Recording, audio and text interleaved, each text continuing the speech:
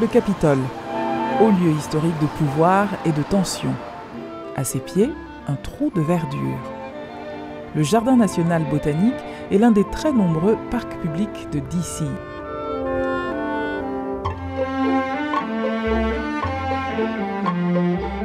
On y vient pour flâner,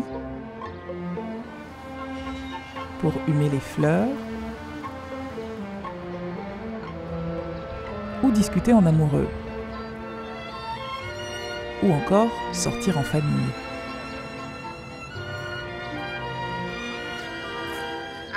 J'ai visité beaucoup de jardins botaniques à Glasgow en Écosse où je vis.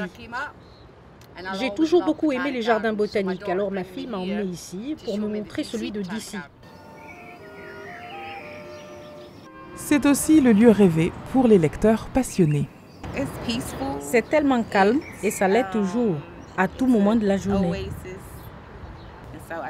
Alors je viens ici pour être en paix avec moi-même et faire le point. Et comme ça, je peux finir mon livre. Gorgé de soleil et de l'énergie bucolique, on peut rattaquer avec la ville, ses bruits et sa fureur.